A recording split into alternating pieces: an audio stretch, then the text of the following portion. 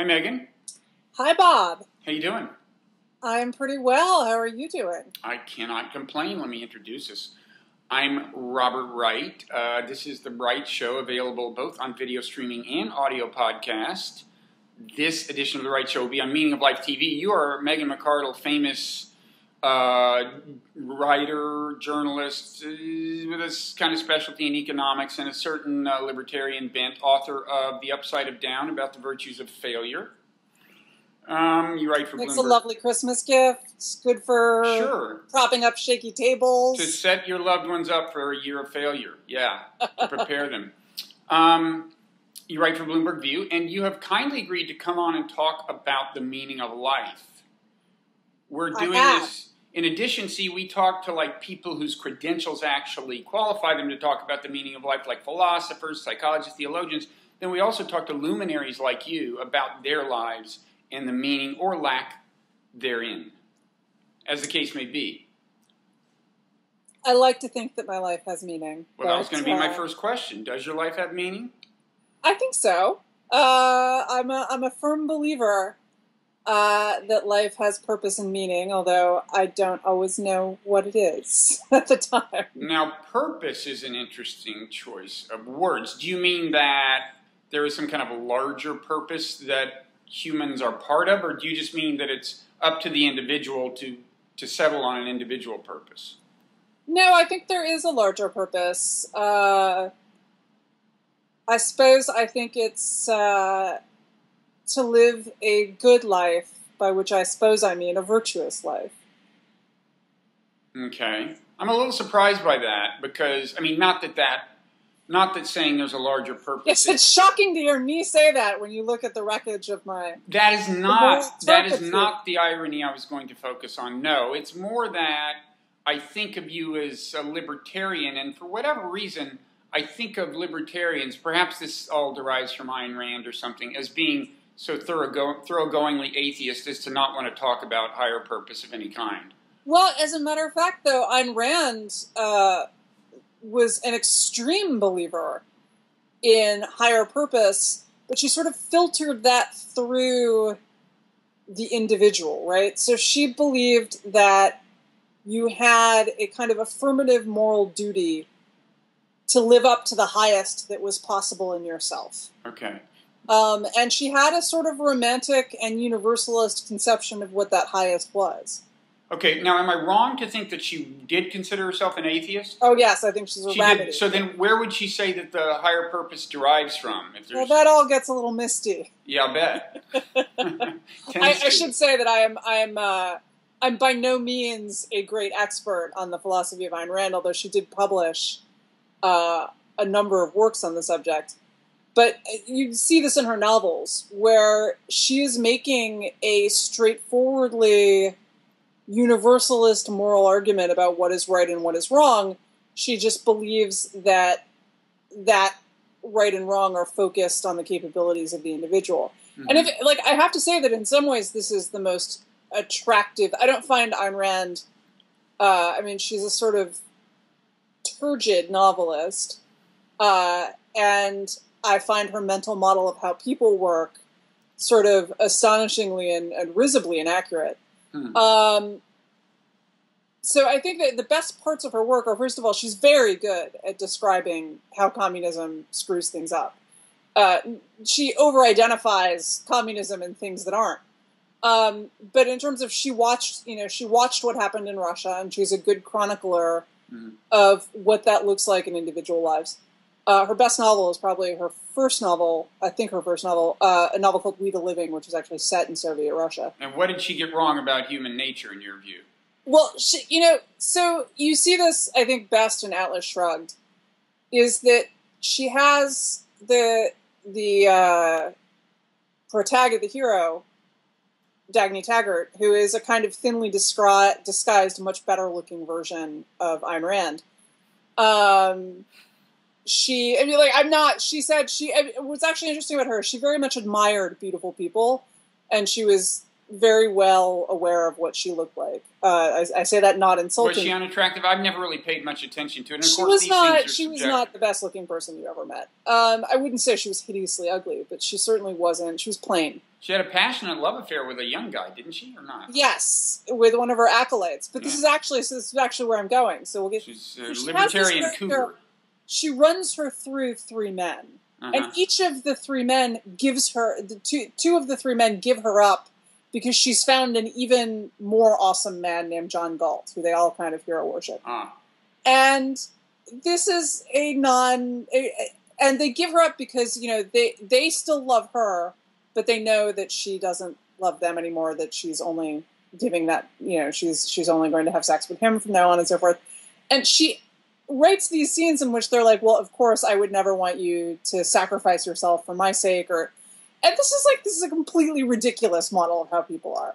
Um, this is not how people react to these things. And indeed, when this happened to Ayn Rand, because she did embark on this uh, love affair with Nathaniel Branden, who was one of her acolytes, and she and her she and he announced to their spouses that they were going to do this and that they had to accept this because this was obviously um, you know within objectivist principles um, he was her successor That's the only reason I know that I would ever have a love affair is if it were Exactly. if it were within I feel principles. most of us Yeah. think about that is is what do my objectivist principles tell me about having this love affair Right. uh, and that since she he was her handpicked successor and she was the leader of the movement that obviously they had to sleep together and expected the spouses to accept this um, which is horrifying um, and is sort of horrifyingly callous towards their spouses and then when he eventually started having affairs with younger women i mean she was at this point in her late 50s Uh-huh.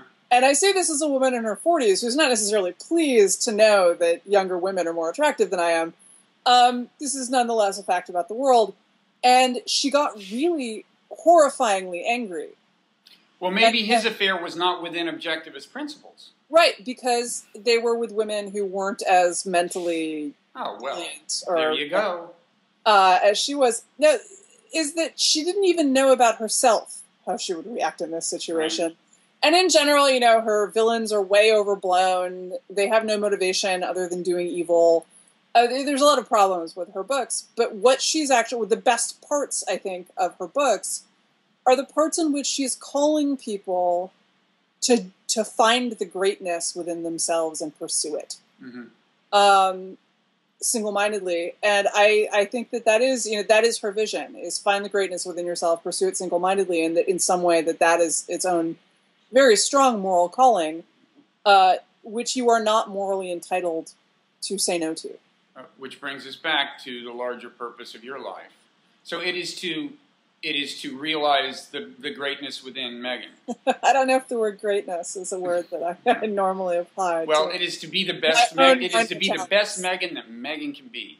yes i think that that is um, and and you know you know in the end uh, there's a there's a i believe martin amis said this although it may have been kingsley it's one of the amises anyway I get them mixed up too.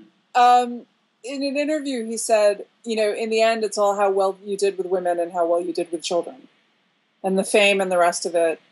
Uh, and van morrison recently gave an interview which said you know in the end you have more money or less but you know you're still here. Um, and I, I think that that's also right. In the end the, the thing that matters most is is probably the people that you loved and the people that you touched on an individual level not you know but you know then there's art and and many artists are kind of terrible parents and terrible human beings but they create this great art precisely because they're willing to sacrifice everything else to it hmm so maybe that's not you know in, in my own life I, I i suppose a life what the roman idea of a life well lived um, So what does that entail? That so that's like entails like you're like this Renaissance person who like does it all. no no i think that it maybe maybe the answer is that it, it consists in finding um, your best capacities and stretching them uh, whatever they are some people are really not set up to be parents or spouses or uh, what have you but they're set up to do something else but whatever it is to Mhm. uh, to do it as well as you possibly can And how important is the career part for you? For me, I mean, well, you know, uh, I don't have kids, uh, and I do have a spouse. I try to be a good spouse. Uh, sadly, I'm sure I, I, fail quite often, as one does. We could ask him. Is he there? Um, he knows better than to answer that question in public. Okay. Uh, at least with anything other than my wife is the best wife ever. Um, no, I think that uh, you know. So yes, for me, my career is a big part of what I do. It's a big part of what gives my life meaning because it. But you know, ultimately, I think the reason it gives my life meaning is partly that I do it for my own enjoyment, right? Like partly I just I like writing and I like what I write and I like the I like the process of of putting something on paper and having ideas and thinking things through. But I also really, you know, I have an unusually large and active and loyal comment section. And that matters to me a lot too, is that the, the people You, you mean at Bloomberg View or where? Everywhere. My my commenters have followed me basically since the beginning. Mm-hmm. Not all of them, right? I pick up new ones, I lose some of our old friends. Um, but I have loyal commenters and I care about them a lot. You know, the reason I have loyal commenters is that I know who they are. I, I have conversations with them. I've been managing my comment threads and active in them since 2001 when I started blogging. And, you know, they're kind of a proxy for my readers, many of whom never comment or write me or do anything else, is that, you know, I think about those people is there are people out there who get a little bit of enjoyment, maybe have their own little ideas um, because of something I wrote, and, and that gives me great satisfaction. Yeah. We have commenters uh, at Bloggingheads and Meaning of Life too, but some of them seem not to think highly of me. Uh, many of them, as I recall, didn't think highly of me either. Well, so we, I, I would, I guess we we feel like returning the favor then. But we will. Well, no, you know, I, I, uh, I'm like, I, I have lots of commenters who don't like me. They come basically to, it's like they they come and they bring their sharp stick and they jab at me. Um, and I'm fond of them too. Some of my most fond uh, some of the commenters I'm most fond of, uh, past are not, are not fond of you. Ironically, are very the, much not fond of the, me. The uh, so you know I think libertarians tend to have loyal commenters, and this leads to a question. I mean, libertarians are a little like a tribe, and somebody just recently, maybe it was David Corn, underscored the the irony of libertarianism being a, a, doctrine that is so much about individual expression, the pursuit of individual freedom, and so on, and yet libertarians seeming kind of tribal. Uh, you know, you know what I mean. The, the, bo- the bottom line question is, if, if it's true that you are kind of a, a, a cohesive movement, a tribe or something, is that a big source of meaning in your life? I think one's your value commitments if your value commitments aren't a source of meaning in life, what is? Right? right? If living up to if living up to your values is not a source of the meaning in your life, then you you don't have meaning at all. Um, yeah, I mean, you know, partly because it's what I believe, although my beliefs have certainly changed over the past twenty years. Um, but also partly because it's a community that I'm immersed in, right? A lot of my, some of my best friends are libertarians. It's just, some of my best friends are liberals. Some of my best friends are conservatives. It's uh, I'm I'm ecumenical on that score. But what it is is it's a cohesive community, and it's more cohesive in a lot of ways than liberals and conservatives. In part because it's smaller. Well, and, and partly because it has long felt besieged, right? It's not as besieged as it used to be. I mean, 20, 20 years ago in D.C., they were just dismissed as cranks. I mean, this was oh, kind of before are, 25 they? years ago. No, they're much more mainstream now. Yes. Uh, well, uh, partly because maybe they've moderated their their views. Some of them have have you know maybe there, there are people who are called who are you know kind of libertarians or something. Anyway, we don't need to get into a taxonomy of ideology, but but but being besieged, I, I think you know one source of meaning can be being part of a movement, a tribe, and in a way, the more besieged you are, the more meaning there is. Absolutely, and you know the. Um, if you think about this, I was thinking about this recently with the Irish community in America, where my dad grew up with this very cohesive sense of being Irish. But in part, he grew up with that sense because, you know, when he went to college, and this is in the, the 60s, this is not early 60s, but this is not like back in the dark ages. Um, he went to a Catholic college within a larger university. Mhm. that was not Catholic. And the other students made fun of them for being Catholic. Hmm. Like that was a thing that happened in living memory in the United States. Wow. And there were jobs that, you know, were sort of not really within reach for people who were not white Anglo Saxon Protestant males. And that, that sense of being excluded also created a stronger sense of being included, right? Mhm. And that is certainly the case, is that for anyone, the people who are most comfortable certainly to talk politics with are the people who agree with you because they don't yell at you and they don't say, How can you think that? You're a terrible human being. And all of the other things that come with arguing across ideological lines. Um, and so that's part of what creates a community. Part of it is just the fact that we're small, is that you know we're a minority in politics, and part of it is also that we never get into power. So I like to say being a libertarian means you never have to say you're sorry Mhm. because nothing you propose ever happens. I mean, sort of like Uh, I, I don't know. I think it- little bits of it happen here Right. and there, I think but no one can say exerted. your crazy libertarian agenda caused the financial crisis because my crazy libertarian agenda was not within a thousand Right. miles. Right, your agenda was much crazier than Oh, the yeah, agenda that actually took effect. I agree. My agenda, well, so I would I would dispute that because I'm a you know like I'm a I'm a squishy libertarian. I get expelled from the movement a lot by Mhm. random people who say Megan McArdle's not a real libertarian from both the left and the right. The best part is I, a lot of liberals will expel me from the movement because I've say written something about abortion statistics. Even from a pro-choice perspective, if I say, well, these terrible abortion statistics that the pro-choice movement is using um, is are they're bad and we shouldn't use them um, that people would say, well, you know, no real libertarian could do anything that would support pro-lifers, which is first of all false on a matter of libertarian ideology. You do Mhm. not have to be pro-choice to be a libertarian. And second of all, you know, you do not have the authority, random left-wing person, to, to define what a, a, a real libertarian is. But I am a squish, and so I'd already, you know, I, I've been at odds with the movement on a lot of stuff about the, the financial crisis. I supported TARP. Uh, I was a big fan of the FDIC long before um, this happened because I actually this is the sort of intervention I think that that government should do in in the middle of financial crises is you go in and you kind of stop things from getting worse.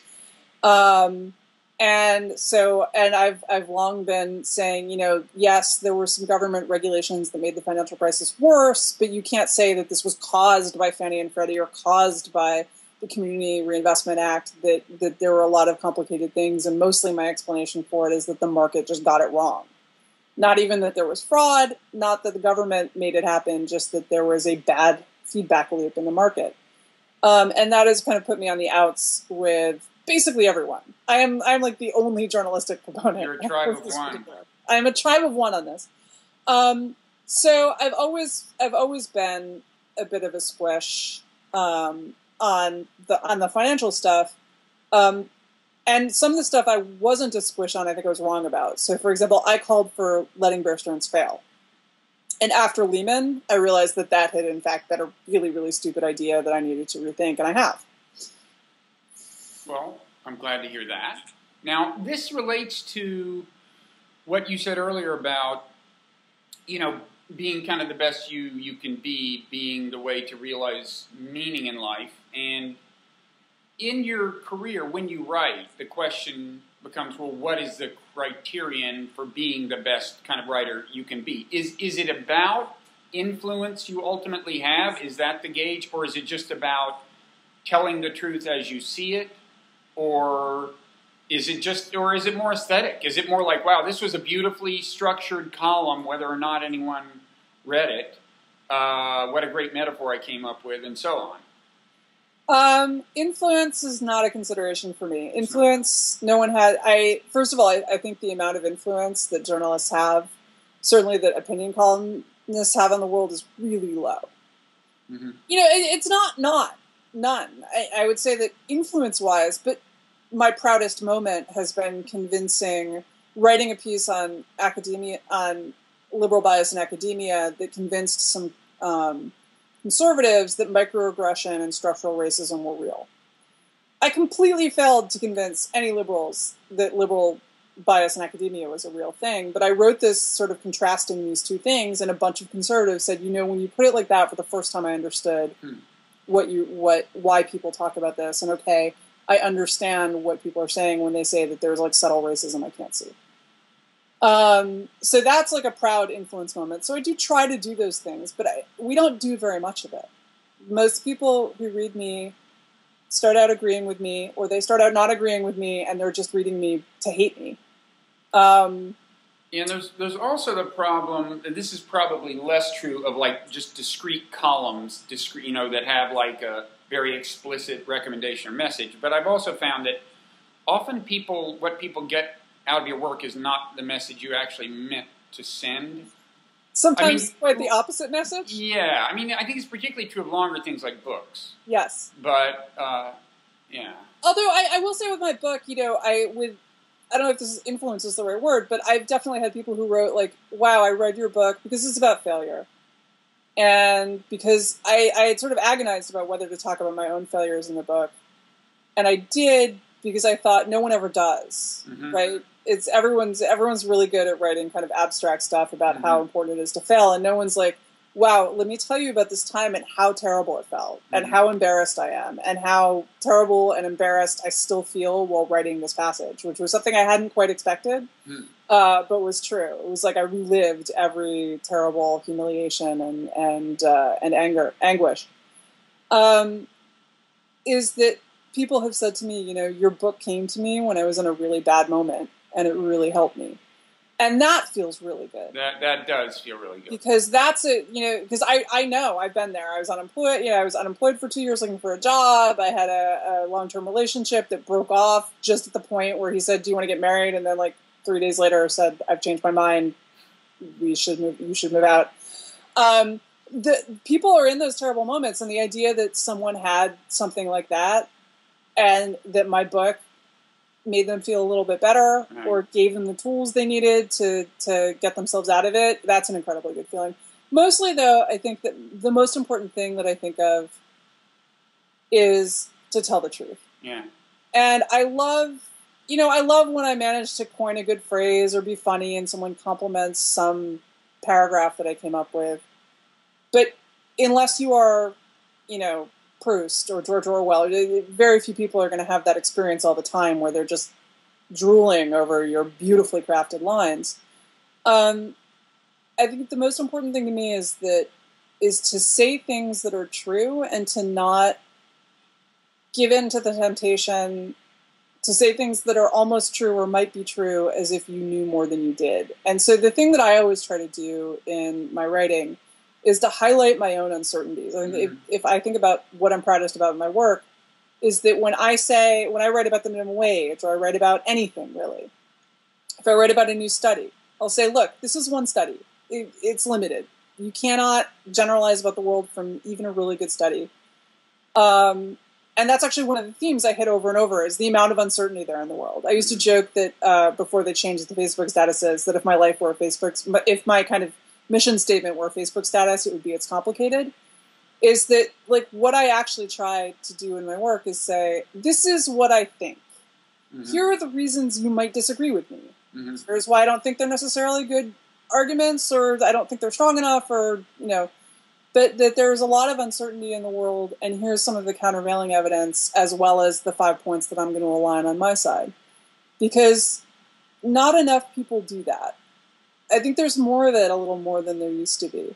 Mm-hmm. Partly because we can write at greater length, right? Mm-hmm. We're not confined to the 700 word op-ed column where we used to be. Mm-hmm. But I always try to do that. Is like always start by arguing in good faith with your opponents. Don't say, "Here's my stupid opponent who's just unremittingly evil and believes what they believe." For unremittingly evil reasons. Um, even unremittingly evil people aren't sitting, or even Adolf Hitler did not get up in the morning and say, How could I be more evil? You know, somebody had to apologize for saying that. Some actor said that, and then, like, Abe Foxman got all over him or somebody, and he had to take it back. And that's kind of shocking to me. I am not in any way defending Adolf Hitler. What I'm saying is that his mental process right. was not boy, I'm the most evil person on the planet. No, I, I totally what agree. Be the most evil thing I could do, right? Is that everyone? I, I totally has... agree. That, that if you don't realize that everyone who does what by your lights is a bad thing think has convinced themselves that they're doing a good thing. If you don't understand that about people, you are not in a strong position to combat evil. or has at least sort of justified it to themselves, right? Like, Yeah. do I do I think I assume maybe I am incorrect. I assume that somewhere inside them, the Nazis had some qualms about I'm what sure they were doing. some did, but just by But, and no, large, but I think that they said, well, it's necessary. right, right, right. That's what I mean. you know. they, come up. uh, We all have qualms, but at the end of the day, people are remarkably good at convincing themselves that they Forget are it. on the side of right, notwithstanding all the moral ambiguities and everything. And and I just think if you don't understand that about people, you're not equipped to deal with the world's problems. And, I, I agree with that. And- but but the hard part is applying it to yourself. It's like right. I mean, it's, it gets back to what you said about trying to acknowledge your your uncertainties, but it, it kind of the challenge goes beyond that in a certain way. Um, but anyway, we're not here for me to pontificate. We're here for you to pontificate. So back to this question about um, where you find meaning. Are so so you think that okay? First of all, to summarize, you think as far as your work life goes, it's about telling the truth, acknowledging uncertainties, ideally having a positive impact on people's lives. Um, and then in other realms, I'm sure in a social realm, it has to do with having a positive impact on, on uh, people's lives, uh, presumably. Um, but back to this, uh, the Ayn Rand question. You said she got kind of fuzzy when, when you asked her, well, where does this, where does the larger purpose derive from um, if there is no God? Now, uh, I'm, I'm assuming you share her theological uh, assumption or not. I mean, no, I'm not an atheist. you're not an atheist. Okay, were you, were you brought up religiously?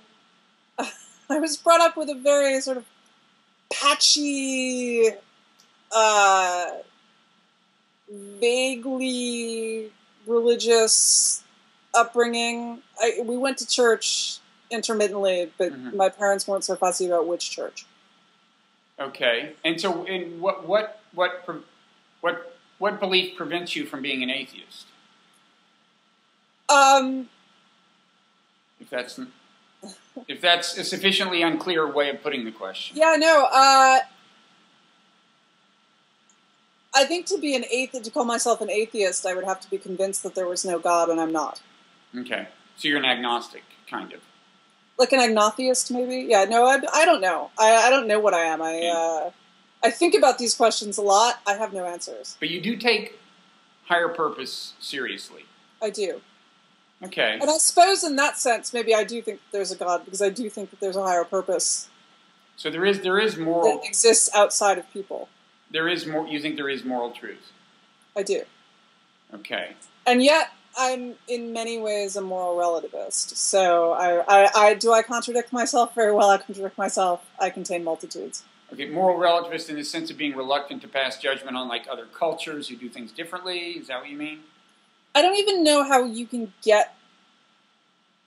I don't think that there is a point of view from which you can even critique another culture's beliefs in some sense, right? Is that the only way you can make the argument is from within your culture, which defini- which definitionally kind of doesn't understand the other. But don't you understand? We are part of the greatest culture in the greatest country. Hasn't anybody explained that to you, Megan? But you know that could be true, for all I know. I doubt it is, but you're right. It could be. Well, actually, let, me say this: is that in fact, like, I like America better than any other culture. Well, yeah, it's our home. it's our own, right? In the same way that you you love your mother best. My mother is also objectively awesome, as is my father. So is mine, actually. My mother is, in fact, probably better than yours, but we needn't get into that. I I I'm gonna have to. I will fight you to the death. You- Um, your cause is hopeless, but proceed.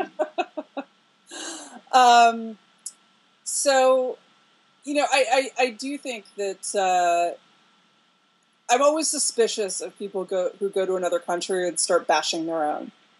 Um, you know, if your if your own country has done something terrible to you, I'm I'm not talking about people whose country has done something terrible to them. I am talking about just random upper middle class people who move somewhere else and then spend their whole time talking about how terrible their home home culture is. hmm Um, They should have stayed put and done it. Done it. At No, yeah, well, in a in a way, right? Th- It is very different. Complaining about your spouse is very different when you are doing it to your spouse than when you're doing it to another person. Like True. I, I don't. I True. also don't complain about my spouse to other people, other than like affectionate things everyone knows, like the fact that he, when I cook, he's much neater than I am, so he cleans up after me while I go, and this makes me crazy, and he knows it makes me crazy, but he can't stop. Uh, that- But he knows that. that's, that's that. not a very searing indictment of a spouse, I would say. so you Um, don't have to feel too guilty about that. Yes. No, but I mean, like, again, this is yeah, this is the sort of thing my family knows this about him that he's compulsively neat. Yeah. He's, I'm sure knows about me that I'm compulsively not. Um, and those sorts of things. But other than that, like I, I, I don't think you should complain about your family outside of your family. Um, that in in general, I, I, I think there are lots of things say that you say to yourselves that are about improvement, and then there is gossiping about it outside. hmm Um, and I'm not just talking about Americans who do this, right? Yes, I, I, when I was in London, I would have my teeth set on edge by these Americans who had moved there from Long Island like three months ago and picked up a quasi British accent and then would do nothing but complain about how horrifying everything about America was. Um, but you know, the and and there, there's a great PJ O'Rourke line about like uh, a woman who said to him, like, "My God." nukes everywhere. What's wrong with you people? This this woman had grown up in Long Island, right? It's, it's sort of, Right. um, but uh, also people from other countries is that you should love your country.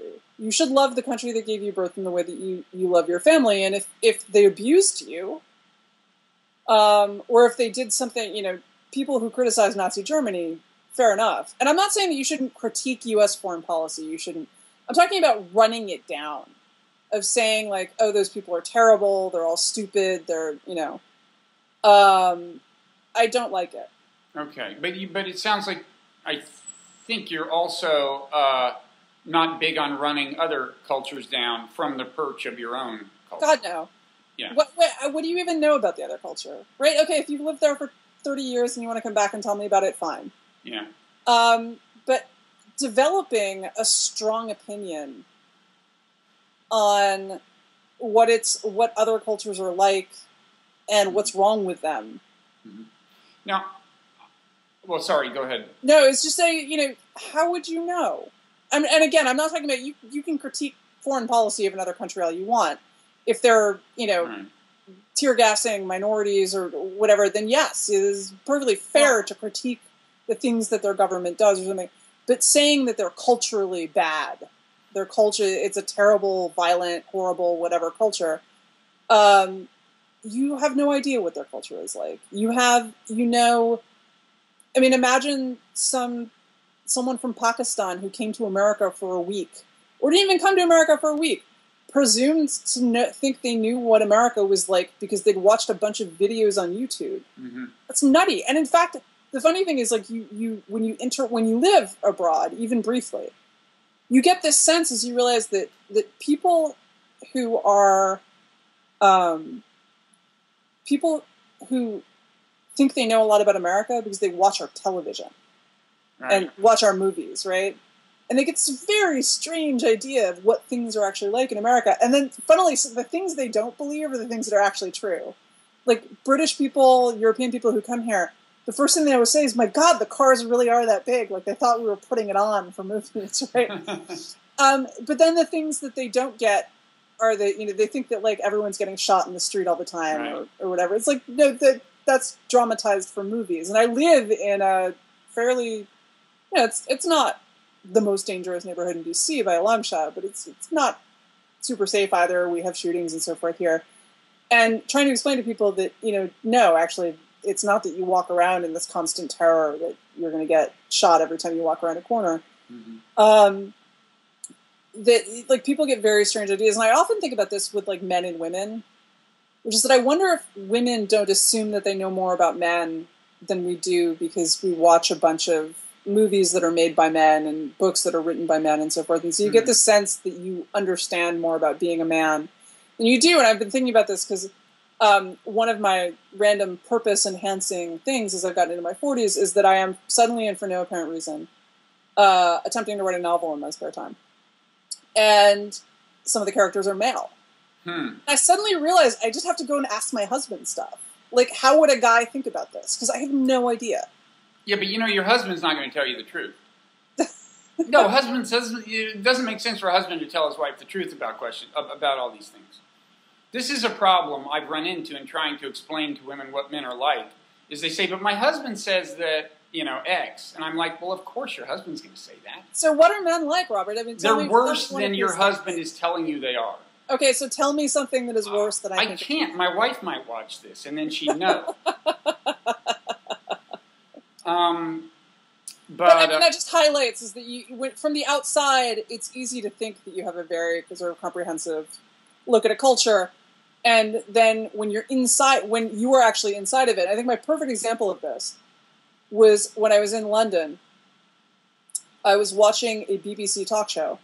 It was like one of these sort of McLaughlin groupy people sitting around looking very serious in, in Mhm. big soft chairs, and the host said could a Christ, could a non-Christian ever be elected to office, higher office in the United States? Do you think? And they sat around watching this for 20 minutes and debating this question.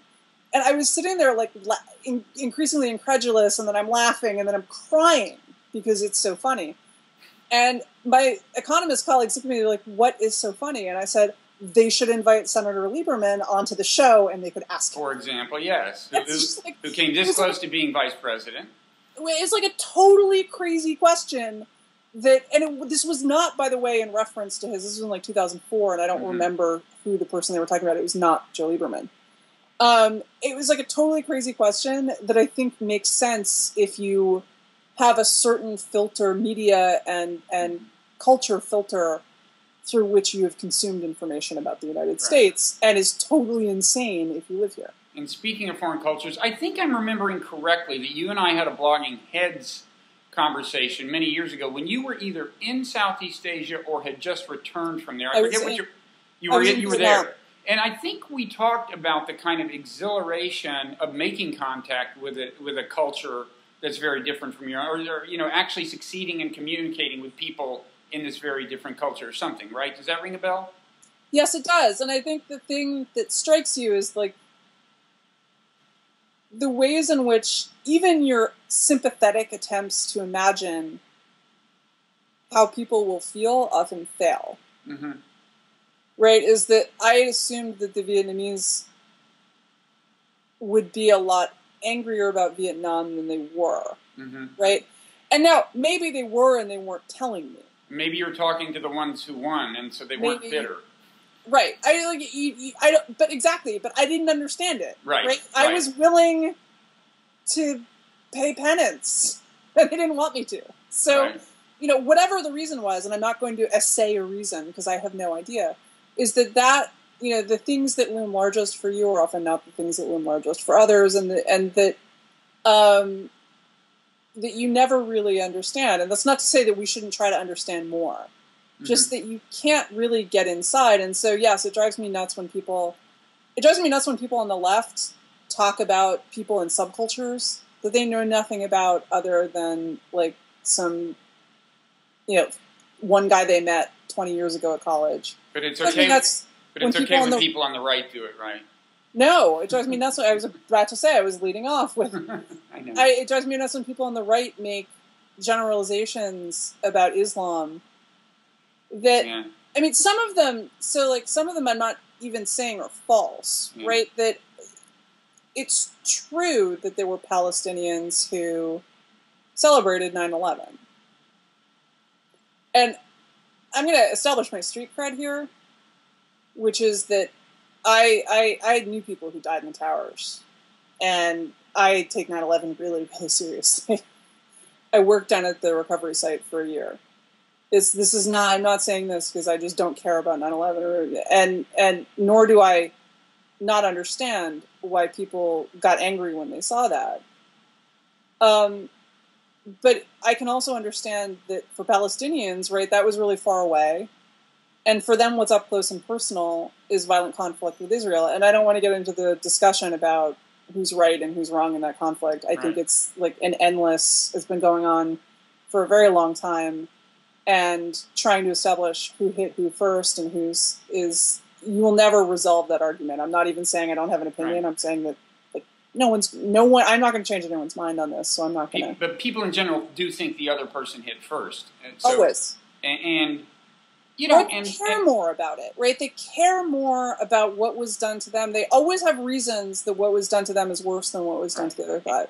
And you know, when we when we dropped the bomb on uh, on Hiroshima, I think there was what we would consider today shockingly little in the way of expressions of, of ambivalence in, in the United States. I mean, you know, and and the idea was, well, they started the war. And of course, even there, there's an argument. I mean, we had done things before the actual war started that they felt was a th- threat, you know, embargoes or whatever, that they thought cut off their lifeline and so on. So it's two sides, two sides to who, to who hit first there. But I just think people have a tremendous capacity to shut down their uh, moral right sensibilities. And so taking those videos as an indictment of like these are just bloodthirsty people who are terrible, like people celebrated when we bombed stuff in Afghanistan for the same right, reason, right. which is that they felt like this was a blow against people who had done something terrible to us. Right. I'm not talking about the accuracy of this. I'm just saying like this is how people are. Yeah. It's not special to the Palestinians. It's not special to anyone. This is how people are. When they're hit, they want to hit back. And that, you know, so those kinds of commentary, those kinds of comments just make me crazy. That the people who, you know, you're you're looking at one moment. You're not looking at all of the moments when those people, in some ways, you know, undoubtedly do things better and worse than Americans, right? Like you know, I, I, you, you talk to Arabs about family, right? And to them, family is both simultaneously much closer and tighter and more generous and so forth, and also much more restrictive and, and you know, cutting into your life than it is here. But whatever it is, right, is that you can't tell because of the four moments that you managed to watch. The only way you really know is to be in it. Right. Um, and so it's hard to make moral judgments on another culture or on people who are doing things by the lights of another culture. Right. And I do think that one way to do God's work, so to speak, metaphorically, is to illuminate the perspective of other cultures and other people and, and make people in any country better at seeing things from the perspective of people in any other country or culture or religion or whatever. But it's hard, and I'm not even sure it's possible in some way right? There's no, you never shed. It's hard. I don't think you can. There are lots of things that are universal, right? Like everyone loves babies, everyone. Yeah, but that's an example. If you can point to the universal, I mean, sometimes if you can show somebody in a different culture in Iran or something just loving their baby, that, the, you know, you can you can if you can show people that people everywhere are at some level the same in the sense of their basic needs and drives and, and so on, I think sometimes that, that makes progress and opens people up to a perspective. But maybe I'm wrong. You, you, you seem to think I'm naive. No, I don't think you're naive. I just think it's it's sort it's of hard. A, it's Sisyphean work, right? You are right. never. Well, what, what what's the easiest way to open people's eyes is, I think, uh, I shouldn't get off of my hobby horse. I'll shut up right after this, but put them in a non-zero sum relationship with somebody. If they think they can like benefit from doing business with people or they're on the same team in some sense, then they're then they're very good at appreciating the perspective of the person. But once they put somebody in that zero sum category, that you know they think of them as a threat or an enemy or whatever, then they just they do not want to think of them as fully human. Well, but in some ways that's necessary, right? Is that like if you look at evolution, Oh, oh, it's a it's a product of evolution. But it's also, you know, it still operates. Is that yeah. groups are really successful, and how do you build a group? A group is definitionally, yeah. It's both us and it's not, and it's not right. not us. Right. And and like we would like not not us to go away, and I don't think that that's possible. Well, but that, but well, uh, we I, I you keep getting me back on my hobby horse. We're um, but we are at a point in history. Once you reach the global level of social organization, which is only starting to happen, you have to figure out a way for there to be us without a not us, at least without a not us that you're at lethal war with, right? I don't think not not us. I don't think that not us has to be someone you're at war with. It's just okay. always the people who you aren't, right? And you look at like tighter communities are formed are minority communities. Yeah. That's just generally true, right? You look at religious minority communities like the Orthodox or whatever, they're very strong communities. There are a lot of great things about that. There are drawbacks to living in a community that's that tight. You know, my mother moved out of a small town because she didn't want to be uh, her father's daughter for the rest Right. of her life. Um, but the it's always defined by the people who aren't like you as much as it is, you know, as well as the people who are, because the effort of staying, of fending those people off in some ways. Mhm. Right, you look at what's happening to historically black colleges and universities right now, and it's very sad. Is that a lot of these institutions, which have for decades had very strong institutional cultures and so forth, they're suffering now Mhm. precisely because black students can now go anywhere. And that's great. I am not saying that like we should have kept segregation, but there is a loss as well as a gain. Mhm. And the loss is these strong community institutions and the richness of being in a small culture. And I, I think about that with, you know, sort of Irish Catholic America, right? I am glad that the few times I've ever heard people say bigoted things about Irish Catholics, uh, really like only a couple times in my life, I found them funny. And the way, but you know, the reason I found them funny was that it doesn't matter anymore. Right. And if I were living in 1960, I wouldn't find it funny because it did. Yeah. And that, like, we lo- but now what you see in my generation, and especially in the generation after us, is that this, like, when I went to school, there was a strong sense among Irish American kids, not all of them, but a lot of them, of being Irish American, Mhm. of having that be kind of like an important part of your historical identity. And I don't see that in people who are, say, 10 or 20 years younger than me, is that we lost that because now the people the people who remember the discrimination are your grandparents Right. and and there were great things about it there were great things about that sense of tight self um, and there were also major drawbacks in terms of not being able to outmarry and all the rest of it. So i don't want to but like that there's always a loss when that happens. And so um, i don't think i don't know that i think we're going to get to some level of global community where where there's going to be a not where we're going to get rid of not us. I just don't No, think- not in all senses of the term, but there, I think there's some minimal sense in which we're going to have to do it if there's going to be a global, a cohesive uh, global community, as opposed to descent into chaos and death. Now, speaking of death, we've uh, already been on. i you've talked generously much longer than I told you you would have to talk. So uh, we should probably wrap it up. But what better way to wrap it up than uh, to visit the subject of death? Um, what? Uh, how do you? No, I shouldn't ask you how you feel I'm about death. People it. don't like death, but but but if if you're not okay, so you're not a pure atheist, but you're also not a religious believer who has some clear sense of an afterlife or anything.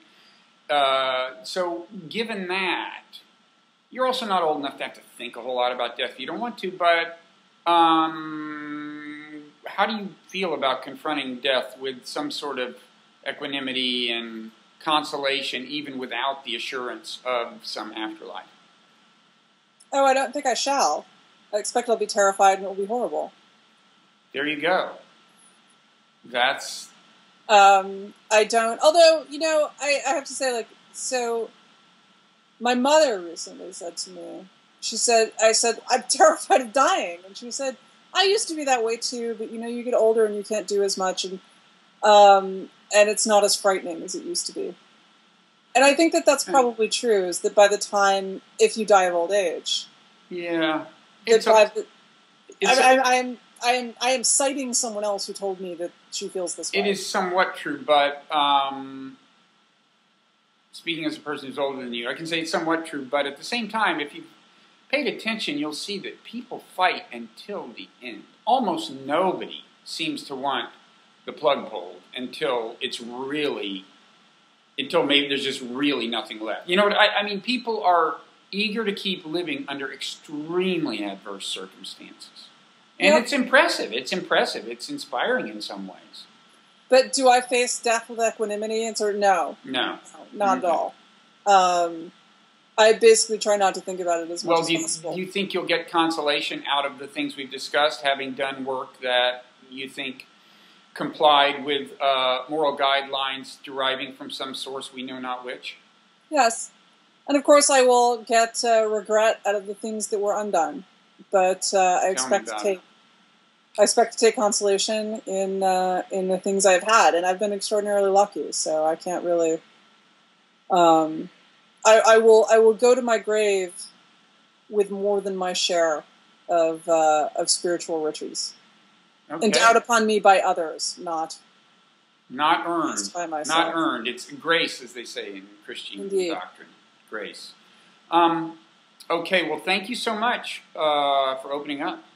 Well, thank you for having me. Okay, and we will. Uh, I hope to hope hope we'll do this again sometime. Absolutely. Okay.